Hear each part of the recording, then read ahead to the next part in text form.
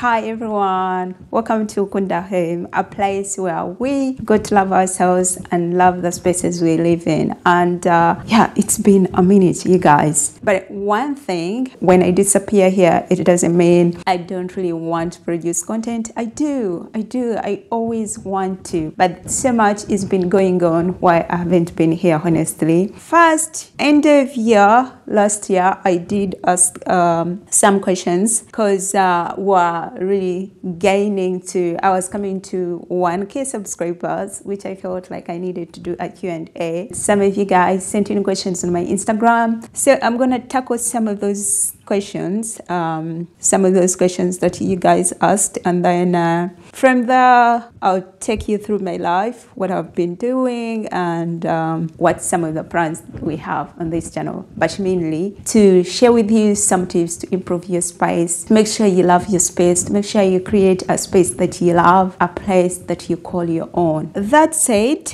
one of the questions that is more relatable to the channel was, um, you guys help pronounce the name, how to design African boho interior for small apartments. Thank you. Love your videos. Thank you so much. Of course, I'm going to do a whole video on that that will come out next week. So if you're here, just watch out for that. The next question is, where have you been? Asked by Linda Tina. Ah, where have I been? While I do love to create content, content. Also, so much has been going on. I have uh, an announcement to make, by the way, because you guys, you've been asking, so this is the time to answer that. So, first and foremost, I went to Africa.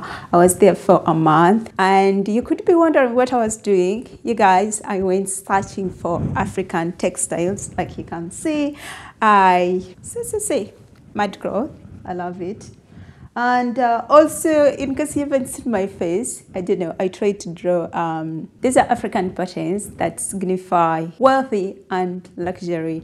And you can see here also in the prose. So I went to Africa to search for African textiles, which I wanted to use in my home. And also, oh, announcement, we also got the goods. You guys have been asking like, when are we going to have some of the goods we talk about on this channel? So we're gonna start with, of course, selling the mud cloth. And uh, I know most people are like, these are really amazing. So mainly, how is the product made? Uh, well, this is a hundred percent cotton fabric. Okay. And um, the cotton is Ugandan cotton. Okay. It's grown in Uganda by Ugandan cotton farmers. Mm, mm. And then the yarn, the yarn is processed Okay. Okay. in Uganda by a textile mill Mm, where we mm, buy the yarn, mm, mm. and then uh, the fabric is designed and and hand woven uh, at our workshops By Ugandan women. by Ugandan women whom we have also trained. These are traditional made, like they're made by women in Mali.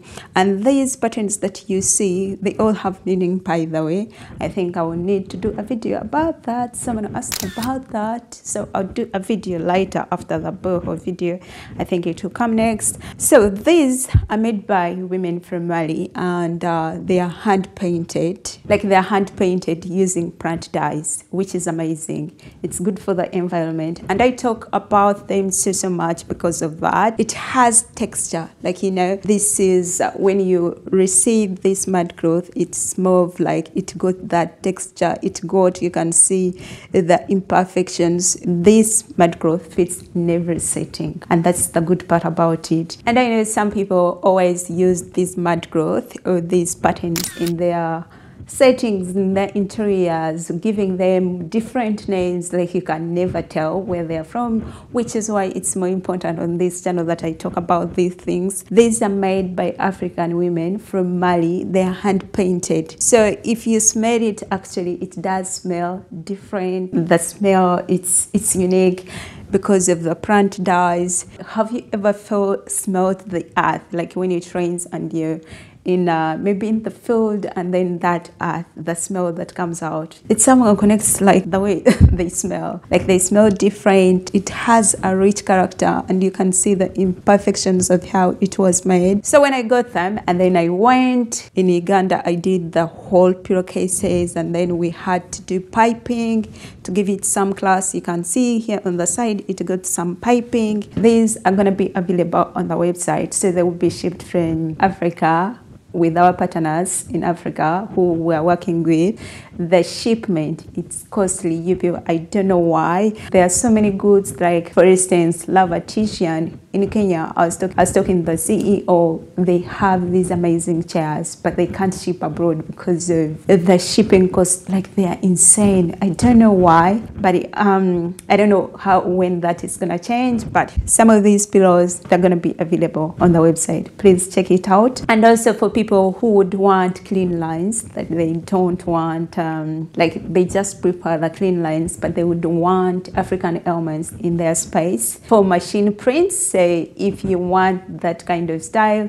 they will be available. Also there is a style for you in different colors. So so you've been asking you guys ah when are we going to have these products? These are the products you've started with. Please go to the website. Make sure you support us. And also uh, to answer another question someone said um, why did we change the name from kunda 7 apparently when you have a business idea you're supposed to buy a domain which i didn't. And uh, when we were trying to buy a domain someone else had exactly both the same domain created a, a different facebook page for the same name. When you want the name back you have to go and buy it from this person. And i thought that was a whole lot of headache to do. Once you feel like i have this kind of idea i would love to open something or make something in it in the future please go buy your domain to save you money or save headache. So the next question was asked by uh, Rachel Jane, uh, when was your turning point? Honestly, uh, when was my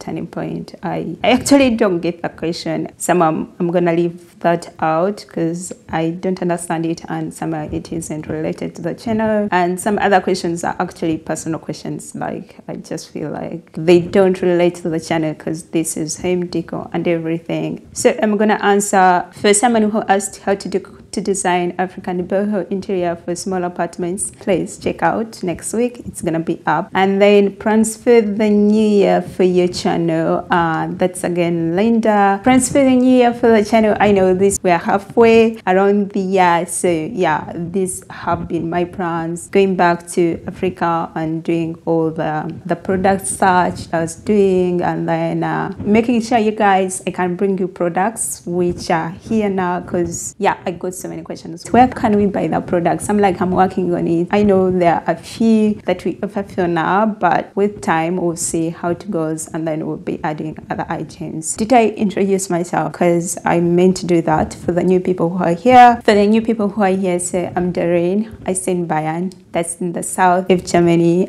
I say in Bayern because mostly because um, it's a different state. Like Germany is made up of different states. The city is Munich, so yeah. But also my roots are way from East Africa, Uganda, and uh, recently I was actually researching my roots, like where we came from. So my parents, like my grandparents, came from uh, uh, like for my dad's side, they came from Rwanda, but also Rwanda is just a name that they gave a place. Before that, these people came from somewhere. So we are all under the Bantu group, I think. We are under the Bantu group. So my mom is from uh, the Bachiga tribe, but at the end of the day, I think I love to identify like um, I'm from the Bantu tribe, and from that, I would say always like I'm human. I'm human, though I have these identities that I identify with, and um, I'm proud with each one of them. I'm proud to be who I am. I'm proud, and I'm super proud to be alive, and I'm grateful to our Creator actually that I got this opportunity to live this life that I live. So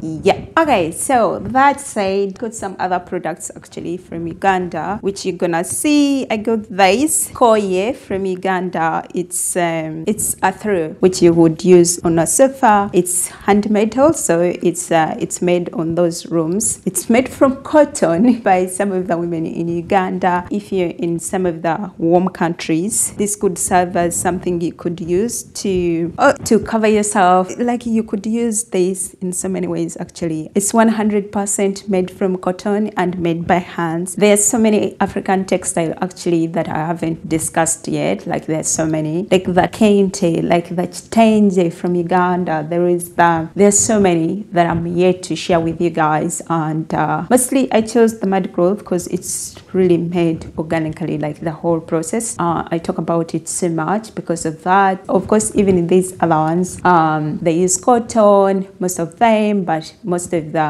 changes, like you'll see, there will be machine prints. If you're someone that you want a pop of color, these other textile would really do great. I'm gonna show you actually how I transformed my spice. Like it was amazing. My space was already good, but now I'm going to turn it around and show you once I added the mud cloth pillows, how everything added together. And you know, the good side of stuff is that mud cloth does fit in every setting. Whether you have a modern home, it's really classy to the extent that it fits in every style.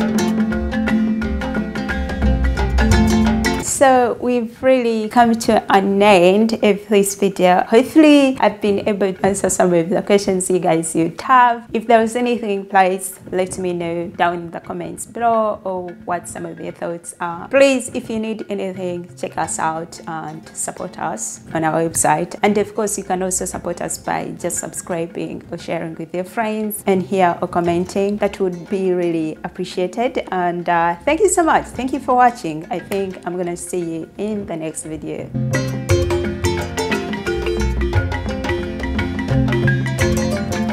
So a quick one, I wanted to let you guys that if you want to shop for home accessories, whether it's for Christmas, that you should do so right now to save money. Because right now we aren't charging for taxes. Our company is pretty much new, so we are exempted from taxes. So you want to save some money, go shop your accessories right now. And then um, Another thing, I wanted to apologize for the audio of the videos that we are really putting out right now because um, I got a lapel and it's not really working well. But uh, in future, I'm planning to get another mic. But for now, you've gotten forgive me. The lapel isn't working right. Every time I turn, it doesn't really get my voice. But um, I apologize for that in advance.